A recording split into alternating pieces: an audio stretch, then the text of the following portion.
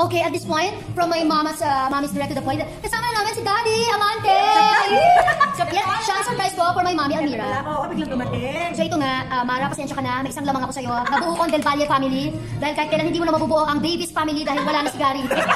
Dito man lang makalamang ako sa'yo. Diba? Tito JR, welcome again to Stella for the second, third time around. Yes, yes. Uh, Ano naman yung JR ang diary? How does it feel? Nakita ulit kayo ni Almira, isang direct to the point na tanong. Oo nga, syempre namiss mo yung sweet. Wow!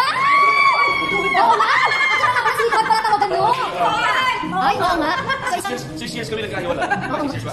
Oh, six years.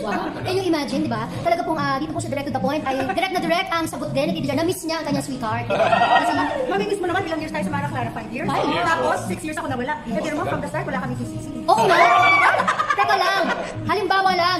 Isang direct to the point na tanong. Halimbawa lang. Kasi medyo malapit ka lang no? Going back to Canada. Pero halimbawa lang na sa pagbalik mo dito ay may mag-offer na magsama ulit kayo sa isang ah, project. It could be a guesting or serye din, ganyan. Ah, okay pa rin ba sa'yo? O mas ah, okay na sa'yo one time, medyo hindi ka kaya ng ano? Eh, kasi syempre, malakas sa akin si Amante. So, Wow. syempre, gagawa natin ang paraan. Wow. Isang direct to the point na tanong, Amante. Paano kung may kissing scene na gusto Eh, mga senior na kami.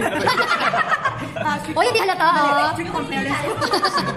Speak ang parents, pero I'm so happy my family is complete. Yan, sa mga batang 90s. I'm sure relate na relate kayo ngayon na nandito si Amante at nandito si Almira. Pero kung tinatanong ninyo kung dala ng isa sa kanila, ang gaya rin, hindi Wala. wala. Lang. Nakay Mara yata? Nakay Mara. Mara, hi! Pero dito, JR, isang direct pa pa itatanong nila. Ano masasabi mo na isa ka talaga sa kinukonsider na father of soap opera? Kasi halos ang dami mong soap opera naging tatay ka. Oo ka, puro tatay eh. Ah, nagpindahan. Gusto mo ba naging man talaga? Puro kami na lang eh, puro tatay na kami, puro don. Halos lahat ng anak ko na ako, si Juday. Sino pa? Mga naibigan mo. Ako, syempre, sino pa? Claudine! Oo. Tapos na pati mga bago. Oh, ano yun, yung mga bago. And you're now part of Beautiful Justice, di ba? Yes, yes. Sa GMA. Tinan mo, hindi ka naman siya nagpapakante. I'm sure kung dito rin nakastay si Mami Almira, eh, isa pang sobrang kabisihan din, di ba? Pero bilang life coach na nga, si Mami Almira, at sinare siya sa akin kanina that will really help me, di ba? To parent my, yung, yung parenting styles. Yan, para sa akin mga chikitings. Ay, ah, talaga naman very helpful yun, Mami Almira. So yan, yun, yun kami mini reunion dito sa Stella.